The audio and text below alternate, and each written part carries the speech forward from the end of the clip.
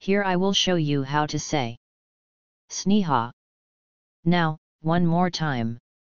Sneha. Well done, please like this video.